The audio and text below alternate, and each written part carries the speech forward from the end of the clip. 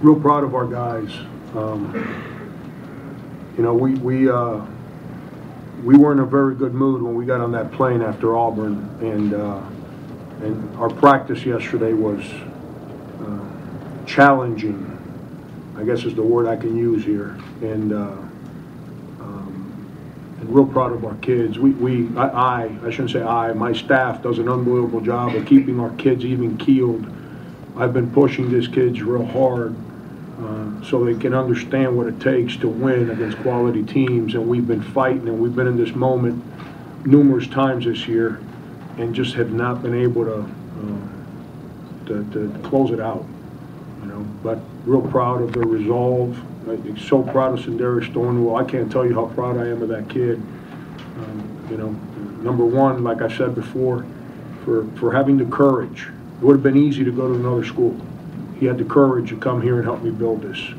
And, uh, um, and then to have the courage to continue to lead on a team where he is the leader as an 18-year-old kid. That uh, says a lot about who he is and how important uh, our team is to him. Uh, but real proud of our kids. The, the, I, I, like I told, I'm gonna, I'm gonna quote what I told them um, after the game. I said, I was extremely disappointed in our approach when practice started yesterday. Well, I was equally proud for our resolve in our fight today. What did you tell them in those final timeouts, especially when Kentucky cut it to one? Was it strategy or was it just, you know, don't give up and stay in the moment? We, we did everything we could to, to screw it up. I promise you that. We, we I'm not going to start singling kids out. You guys, I hope you know me by now. I don't do that. But we made a lot of mistakes in those last 30 seconds of the game. And and we, we, we didn't do what we asked to do, uh, but that's okay. That's what happens when you deal with young kids. And um, the important thing is that, that we figured out a way to close it out. And, um, you know, we, we got manhandled on the glass in the first half. And I told them at halftime, I said, if you guys need me to teach you how to be a man, I can do that in life. I can't teach you how to bow up and stand up to somebody in the middle of a game.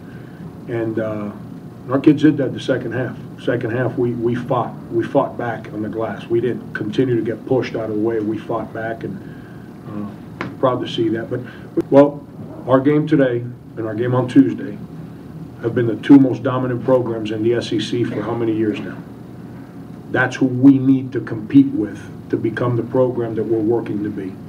Uh, and that's not a disrespect to the other 13 teams in the league. That's just who sits at the top of this league year in and year out, Kentucky and Florida. And, and it's a great opportunity for our program to, to understand our players, our fans. How about our fans, by the way? Our student section. I did not see a single blue shirt anywhere near the court. That is awesome. Our student section, our, our marketing people, uh, how hard they've worked to help us build this program, our students. I'm telling you, I'm, I'm, I'm fortunate. I don't mean to go off on a tangent, but you got my brain working here, and I'm exhausted. I haven't been able to think real good. I'm fortunate. I've worked at a place in Cincinnati. I'm to coach Bob Huggins. He said, Frank, every night, 13 176.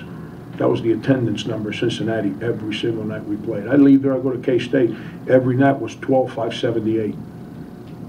You know, and now we're building it here. And I'm, I'm, I'm telling you, I didn't feel it today. I've been feeling it since the Ole Miss game. Our crowd's coming.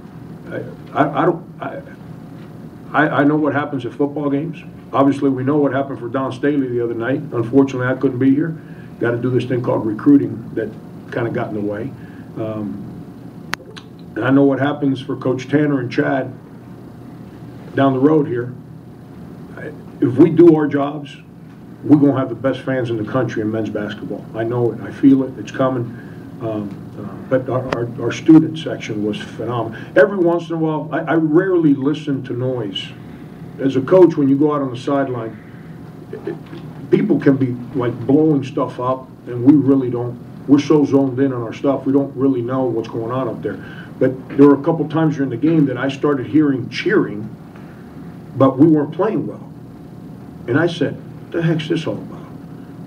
But all of a sudden, that noise would disappear because I heard a roar from our people. And but I'm not real smart, but by the end of the game, I figured out that our fans were not going to allow Kentucky to take over our arena, and that, that was that was fun to be a part of that.